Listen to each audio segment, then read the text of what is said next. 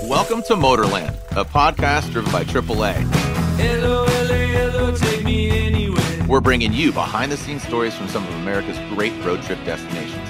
I'm Jarod DeAnda, the voice of motorsports and auto events all around the world, and your wheelman here in Motorland. And I'm Michelle Donati from AAA, where getting your vehicles road ready just takes a stop into one of our many local AAA auto repair centers. Michelle, have you ever visited the beautiful place, Sedona, Arizona? I mean, it's in my backyard. I love Sedona. I try to visit at least two to three times a year. Just under 3 million people visit the Sedona area every year. It is a mystical, fantastical, it's a vortex of the world. And one of the fun things to do there is take a Jeep tour to go off road and see all the beautiful scenery. You know, of all the things I've done in Sedona, I have not yet done a Jeep tour. Okay, well, guess what? I think we got the hookup for you because our guest on this episode drives one of those Jeeps. But more importantly, he really knows the area and the history behind it. Are you ready? I have a feeling this could get bumpy. All right, well, you better buckle up. Let's ride. Hello, hello, hello, take me anywhere. Joe Brazda, thank you so much for driving your Jeep through Motorland, man. You're welcome. Big Jeep energy. That's what we're going right now. Yeah. Big, big Jeep energy. Yep. How many Jeep tours have you given? Rough estimate at about 1,500. Wow. I know those trails pretty well. So, for somebody that has not been to Sedona, paint a picture. How would you describe the energy, the vibe, the landscape, all of it? Sedona is where two tectonic plates come together the Pacific Plate and the North American Plate. See, in Sedona, you can stand on the Pacific Plate and look at a 2,500 foot wall that is the North American Plate. If you've ever driven up Oak Creek Canyon, this is 13 of the most beautiful miles you can drive on the planet. Oak Creek Canyon was not carved by Oak Creek. 50 million years ago, the whole Earth split open right there. It's a fault. But Sedona is covered in electromagnetic energy. and I would say, Joe, that you can feel that energy as you are driving into Sedona. Sedona is very unique in that, geologically speaking, is covered with vortex energy. So people believe that vortex energy can cleanse you or it can heal you. They use it in their spiritual rituals, all of this stuff. If you go out to an archaeological site, the Native Americans that inhabited this area for approximately 12,000 years believe that there are portals into different universes, and those portals exist all over the place in Sedona. So this creates a lot of skepticism. But the fact of the matter is, is that Sedona is covered with energy for, for some very basic scientific reasons. And if you don't believe in that type of thing, it might sound really weird, but if you've ever experienced anyone I know from any walk of life, they've all said the same thing. As you enter into Sedona, you feel the shift and you feel that energy. I'll be the skeptic a little bit. I fully believe I have the salt lamp behind me. I know. I've got the crystals. I used to have the Tibetan prayer flags at my apartment when I was single. Like I'm I'm all in on this. I've had my aura read. yeah, exactly. I'm all in on it. Yeah, I'll get I'll play skeptic. You know, I'll just be the bad guy. Prove me wrong. Or prove somebody that's a little skeptical on the vortex and the vortex energy, Joe. I always make sure at one of our picture spots, I'm by what they call a twisted tree. A juniper tree, right? Junipers are very sensitive to vortex energy. So the first thing I'll do with the skeptic is I'll bring him to one of these junipers, and then I will bust out my dowsing rods. They're just copper rods, about 18 inches long. And I will stand and walk across an area where there's twisted trees and hold those things above my head, and they will start spinning circles. And then I'll say, Now it's your turn. I want you to feel these things move in your hand. And every time when those things take off, it the skepticism goes out the window. Now, how people use it, the application of this energy, you know, that that is a whole other thing that creates a different level of skepticism. But I have another question along those lines is because I've heard that Walt Disney was inspired um, by Sedona, and there's Thunder Mountain in Sedona. Yep. There's Thunder Mountain in Disneyland. Yes. I think some of the trees, the, the twisted junipers, they remind me of some things you might see in, a, in the Disney park. So I didn't know if you had a perspective on that. So Walt Disney had a cabin at a place uh, in Sedona at the base of Thunder Mountain, between Thunder Mountain and, and Chimney Rock. Today, It's one of my favorite parts of Sedona. right. So today, that is the Peace Park. And the Peace Park is covered with vortex energy. We know this now.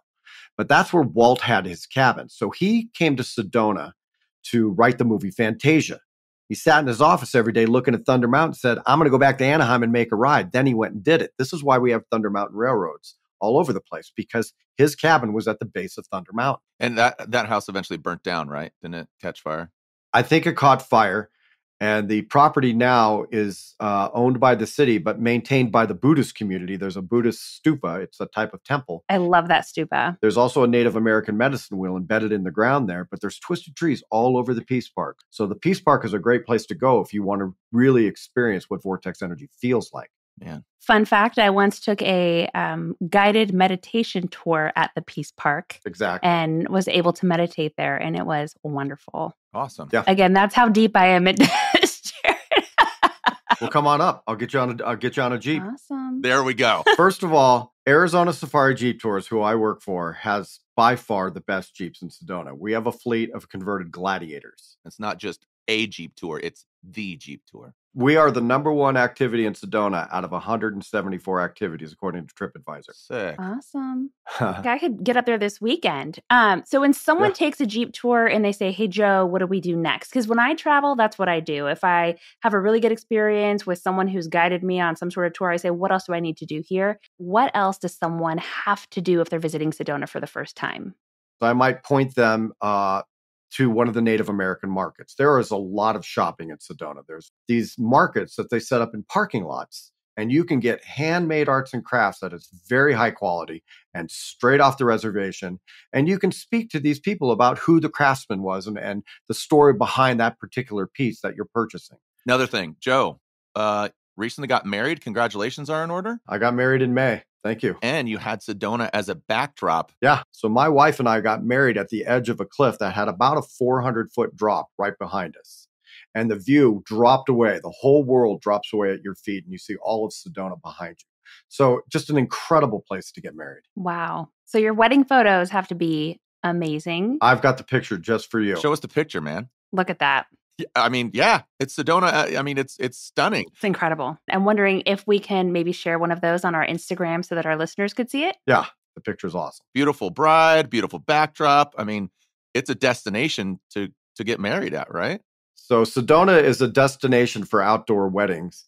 There are ceremony sites here that are only accessible by Jeep. Hmm. So there are coordinators. When you choose your ceremony site, they will help you contract with a Jeep company like ours and bring your wedding party up to a place uh, where you can get married that is spectacular and special and unique. Wow. Uh, hey, Joe, I have to ask, where's the best spot to go in Sedona to get the best selfie? The best selfie. Well, I would say that the most popular places for this is probably the Devil's Bridge, which is a big stone arch over a canyon that you can get on top of if you're not afraid of heights. Um, or you can go into Boynton Canyon and go up to the subway cave, which is basically a big red sandstone tube that's elevated that looks out over a spectacular valley. So you stand at the mouth of that and get a selfie. That's going to hit your Instagram page. Is that also known as the birthing cave? No, that's in Long Canyon. That's a different one. Okay. I've seen lots of Instagram selfies in the birthing cave as well. But I'll tell you something else. If you have an opportunity to come to Sedona at the end of October, beginning of November, we have a trail called West Fork. One of my favorites. Now, this is an Oak Creek Canyon. It is a side canyon. Mhm. It's six miles one way. You cross the creek 26 times, but it's a deciduous forest following the creek. So in the fall, it explodes with color. It's like Vermont in there. But surrounding the deciduous forest is a ponderosa pine forest, and surrounding that is massive cliff formations. It's an incredible place to go at any time of the year. But if you can make it up there in the fall when the fall colors happen, that's once in a lifetime experience. I was hiking one year I went and we were hiking on New Year's Day in Sedona and like in the middle of there was no one else around, we just heard a flute playing like out of nowhere. And I was like, is there like a deer going to start talking to us? Like it was a really crazy experience. I've also seen a wolf there hiking and have been lost on a hike. I, I've had some crazy experiences in Sedona. Oh, what's what's going on here? Again, that's how deep I am in this. Jarod.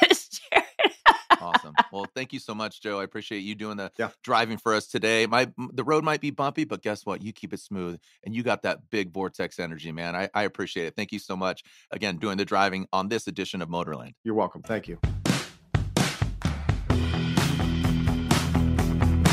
You know, Jarod, Sedona is only about a two hour drive from my house, and I am ready to go visit. It's been, I don't know, six months.